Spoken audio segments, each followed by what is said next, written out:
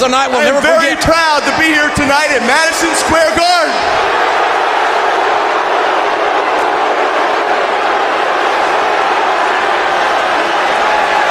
And in a building this famous, it deserves to have a true champion performing in it.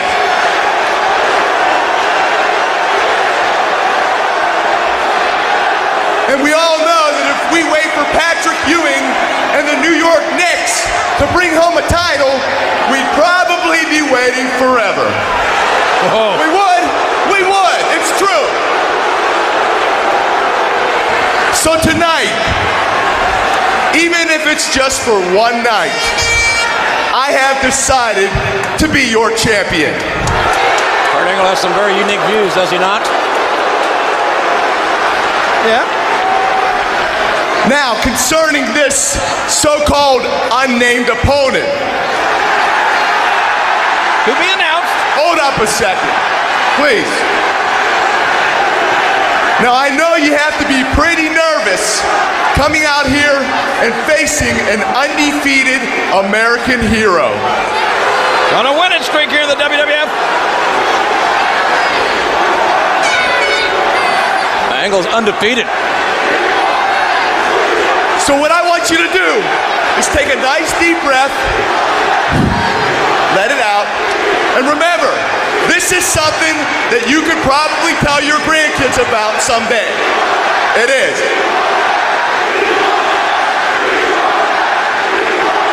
So, what I want you to do is remember your three eyes. Come on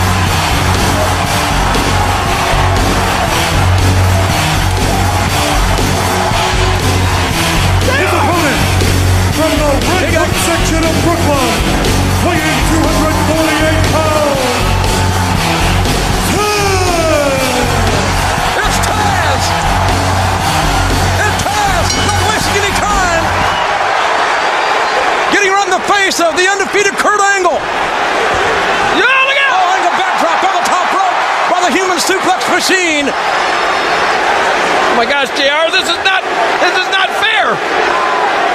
I don't think Kurt Angle was prepared for Taz. Of course he wasn't.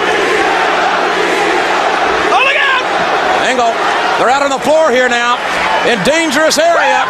And Angle suplexing Taz.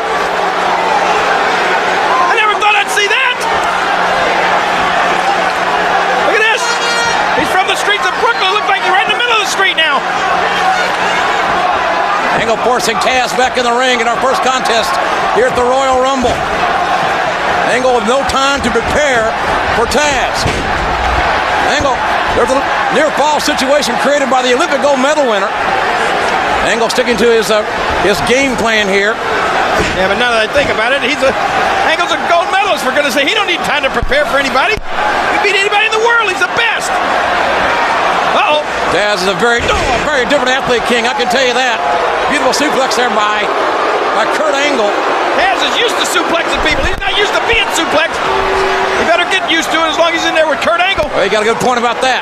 Angle going up on top, very uncharacteristic look out. for an Olympian, and he got caught up there. He forgot that eye, that intelligence.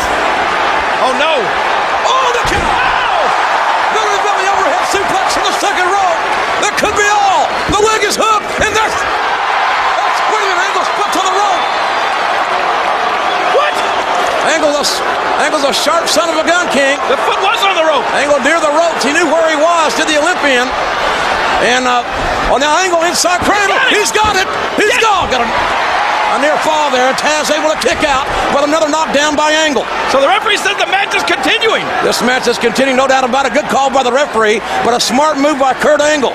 Near the ropes, he used out! Oh man! German suplex, belly to back suplex with the bridge, and and man, that was a that was near the three mark. I'll tell you. Look at Kurt Angle. Angle in firm control here. We are joined in 50 countries worldwide live here at the Royal Rumble. Oh no! Watch yourself, Kurt. Taz Weasel. Oh my gosh! Man, he, it looked like Angle got ejected out of a out of a moving Oh automobile. no! Look out! Another suplex by Taz. Taz opening up for the offense on Angle. Oh!